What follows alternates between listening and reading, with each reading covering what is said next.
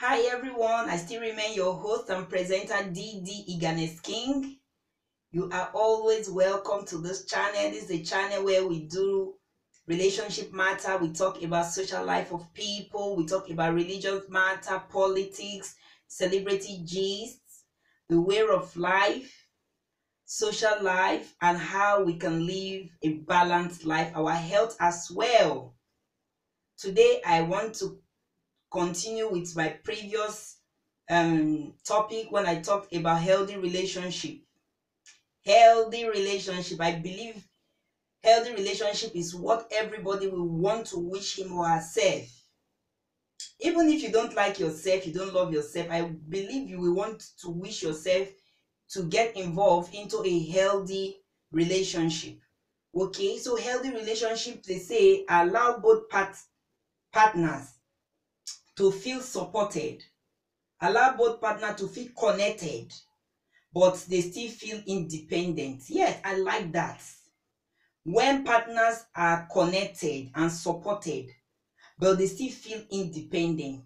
Independent in the sense that your spouse or your partner will not be meddling in your affairs. You know, some partners are so jealous.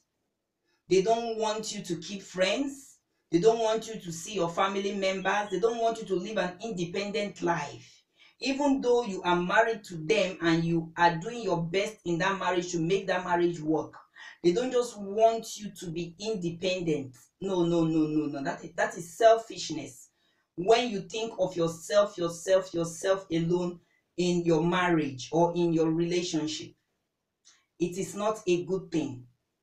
Okay? So people should learn how to support, people should learn how to get connected with their partner and spouse, but allow them be independent. Any good thing they want to do, discuss it. Discuss it in as much as it will not hurt some other person to give them joy. Allow the person do it. Allow the person to be independent.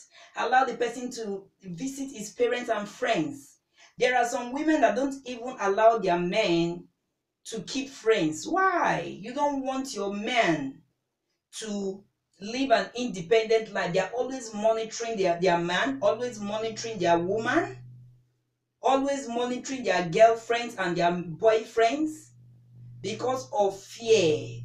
When you don't trust yourself, I used to tell people, how will you trust some other person? When you don't trust yourself, how will you not trust some other person? When your wife tells you she's going to the market, you might think she is now going to her bobo's place because you don't have trust in her in the first place. So another thing is communication. Communication is a big key in healthy relationship. These are the comp components. Communication and the boundaries are two major keys in heavy relationship. I have my boundary. Allow me be. That does not mean that I will not take care of my home. As a wife or as a husband, there should be boundaries. I am not talking about boundaries from sleeping with each other. No, no, no, no, far from that. But when one party tells you, I am not ready to do this today, I am not in, I'm not in the mood, mood to sex today. Why don't you allow that person be? Instead of to force the person against him or her witch. That is where I'm talking about. That is what I meant by boundaries. We should have boundaries. When your wife is a banker and before you met her, you know she is a banker and you know how tedious that job is for her you know but you still decide to marry her as a a, a, a, banker. Then at the, at the long run you start complaining about your wife. How she she's not coming home on time blah blah blah blah blah.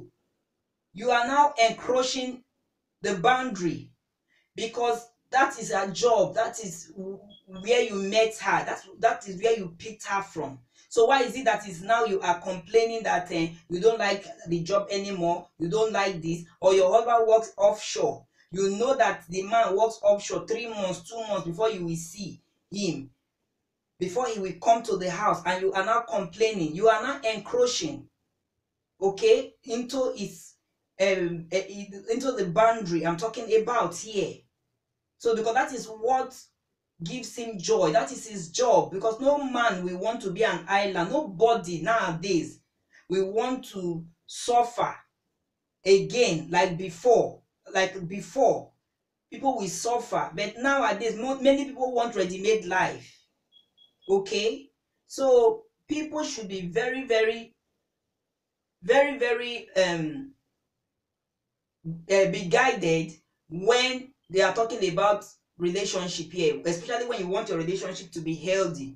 So the main two great components are communication and boundaries. Treat each other right. Good communication matters a lot. Some relationship don't know how to talk. Some relationship they, they don't know how to talk. Some relationship they don't have fun. Okay? No only only uh, communication is uh, take money i want money to go to the market for shop, monthly shopping or um, today na jogodo get ready for me finish. No good communication. So please communication treat each other with respect as well. Okay? When we talk of healthy relationship there should be honesty in healthy relationship. Compromise.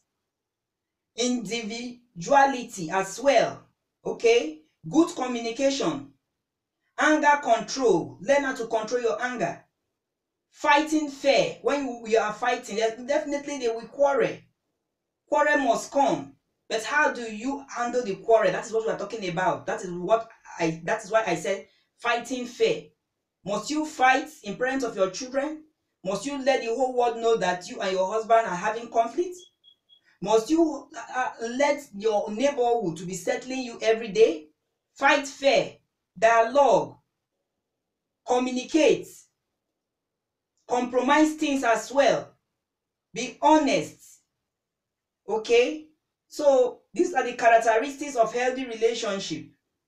People should be very very um careful the way they handle their their uh, relationship okay the way we tell people our friends any little thing we carry phone we don call. Amaka hey no be small thing o this this uh, they refuse to give me money for human hair o no now there should be fair fighting okay? If you know that you cannot forgive in your marriage or you in your relationship then there's no need for you to go into it because that is another key factor forgiveness. If you can't forgive please don't marry i dey beg una. If you know you are this kind of person that have unforgiveness spirits that you find it very difficult to let go there are people like that. When their spouse wrong them they go hold am some of them will starve that man from sex. Some of them will starve that their husband from sex. Okay because of grudge unforgiveness and it's sinful. The bible made us to know that we are killing ourselves. You dey kill yourself when you live in life of enmity. You are killing yourself. You might not know. You dey kill yourself. Emotionally you are draining. Mentally you are draining. Psychologically you are draining.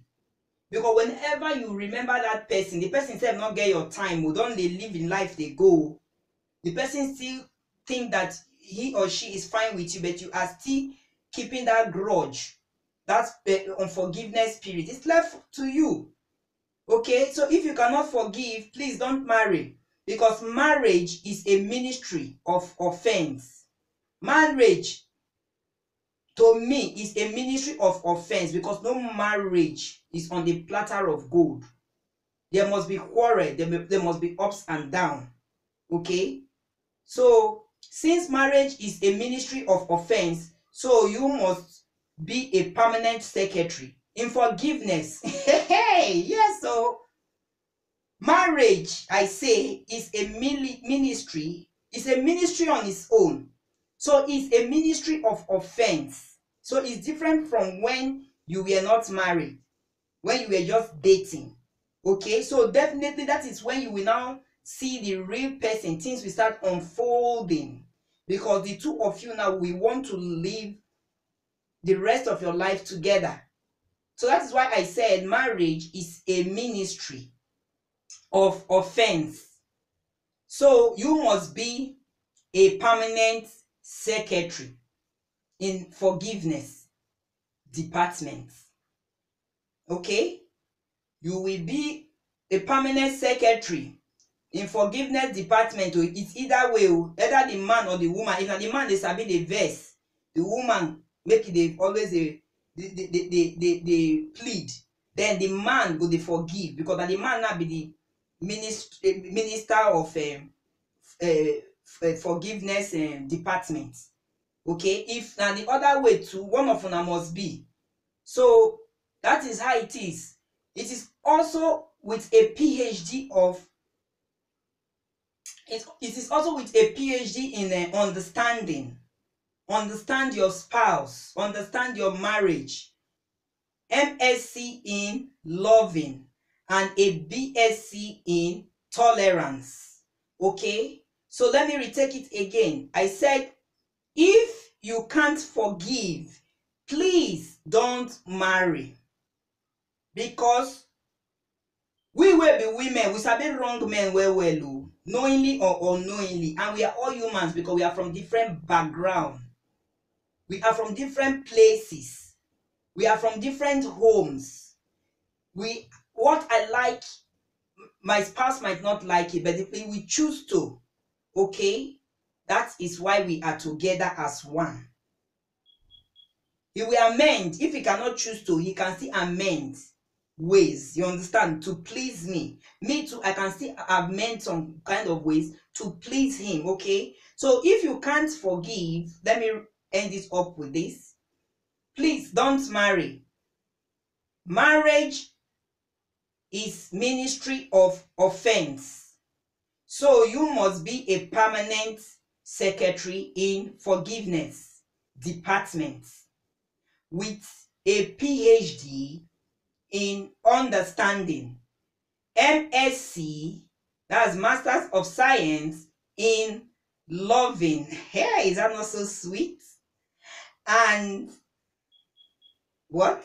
Bachelor of science in tolerance. So tolerate your man. Tolerate your woman. Let there be fair hearing let there be good communication. Let there be support. Let there be understanding. Let there be trust. Let there be honesty. Let there be forgiveness. Let there be love which is the foundation. So thank you very much. See you some other time god willing. Goodbye